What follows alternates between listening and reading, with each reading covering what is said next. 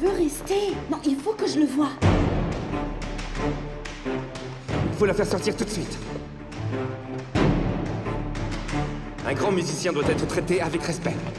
Vous êtes viré. Vous n'êtes pas celle qui s'est assise devant à mon concert? C'était vous? Ik wil dirigent worden. Elle veut devenir chef d'orchestre.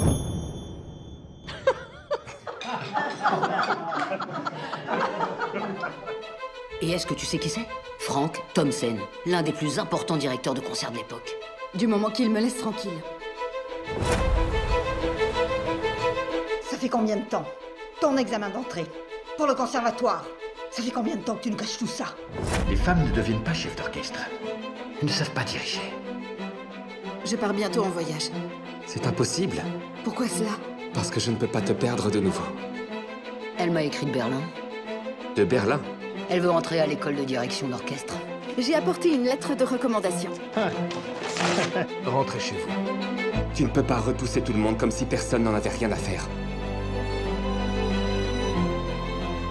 Aujourd'hui, c'est ton grand jour.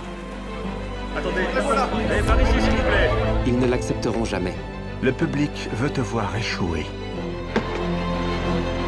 Vous ne pouvez pas partir comme ça Nous avons un accord Je ne reçois pas d'ordre d'une femme qui ne sait pas où est sa place. Une seule femme face à une centaine d'hommes.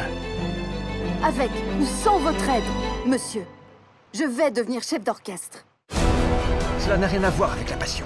Elle s'est mise à la direction d'orchestre parce qu'elle n'avait aucun talent pour le piano. C'est une anomalie et c'est tout. Quoi? Les femmes, c'est ça? Ça va à l'encontre de la tradition musicale. Ce monde te captivera toujours.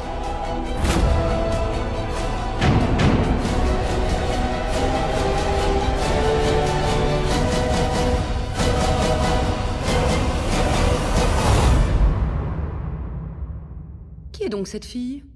Bricot. Antonia Bricot.